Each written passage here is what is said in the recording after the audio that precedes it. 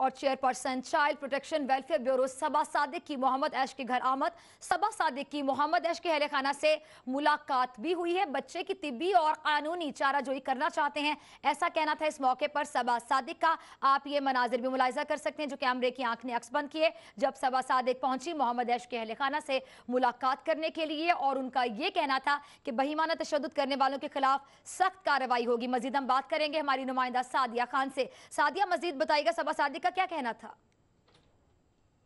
جی بالکل، فضا، اگر ہم انسانیت کی بات کرتے ہیں تو انسانیت بھی اس واقعے پر شرمندہ ہے کیونکہ کسی کے ساتھ اس طرح کا بیہیویئر اور کسی کی زندگی کو اس طرح سے ضائع کر دینا انسانیت کی شرمندگی کا باعث بنتا ہے۔ آج اگر ہم محمد عیش کی بات کریں تو وہ تو چار پائی پر ہے۔ اہل خانہ جو ہیں وہ اذیت سے گزر رہے ہیں۔ Child protection and welfare bureau کی جو چیئرپرسن ہے صبا صادق یہاں پہنچی ہیں۔ انہوں نے نوٹس لیا، ان کا یہ کہنا ہے کہ ہماری کوشش یہ ہے کہ ہم بچے کو اپنے ساتھ چائلڈ بیورو میں لے کر جائیں اور اس کی جتنی بھی قانونی اور طبی معاونت ہو سکتی ہے، ہم کریں۔ جبکہ جب اہل خانہ سے بات ہوئی، ان کا یہ کہنا تھا کہ وہ چاہتے ہیں کہ ان کا بچہ ان کی آنکھوں کے سامنے رہے اور حکومت اور جتنے بھی ادارے اس کے ساتھ منسلک ہیں، وہ بچے کو ان کے گھر کی دہلیز پر طبی اور قانونی جو ہے معاونت فراہم کریں۔ تو آج ہم نے یہ دیکھا کہ یہاں پر صورتحال، اگر گھر والوں کی ہم بات کرتے ہیں اور اہل علاقہ کی ہم بات کرتے ہیں، تو کافی زیادہ غصہ پایا جاتا ہے، غم پایا جاتا ہے کہ یہاں پر قانون نام کی کوئی چیز نہیں ہے۔ بچوں کے ساتھ، انسانوں کے ساتھ اس طرح کا سلوک کیا جا رہا ہے۔ جب جبکہ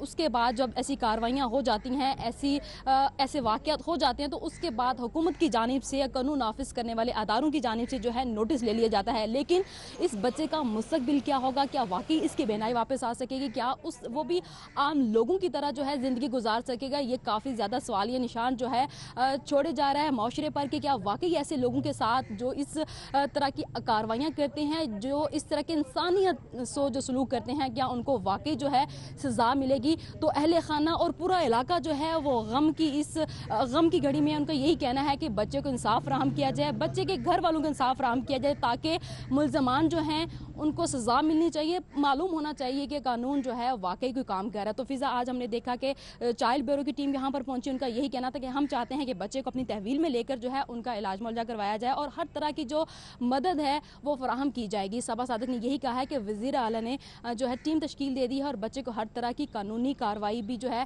فراہم کریں گے اور بچے کو انصاف فراہم کریں گے۔ جی۔ جی سعدیہ خان، بہت شکریہ تفصیلات سے آگاہ کرنے کے لیے۔